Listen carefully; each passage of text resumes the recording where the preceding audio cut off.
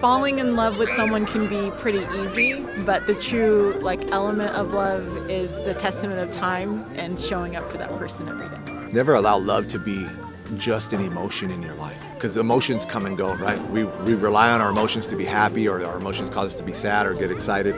I mean, there's a reason why they put like, you know, the really cool stuff at the register, right? When you're leaving, oh, you get pumped up. They treat it like a feeling and when they don't feel it, now I'm not in love. And then everything else that promises they made at wedding days or just relationship promises are gone because that feeling's no longer there.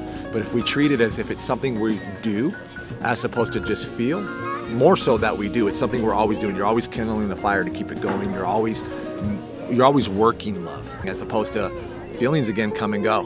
And so what happens if today I don't feel like it? Now my wife's not my wife no more. My son's not my priority no more. You know what I mean? Um, so treating it as if it's an emotion, then that's when we allow it to be a feeling. We have prisons full of people that made decisions on emotions. And so if we treat it the same way, you're not going to have any better outcome than they do.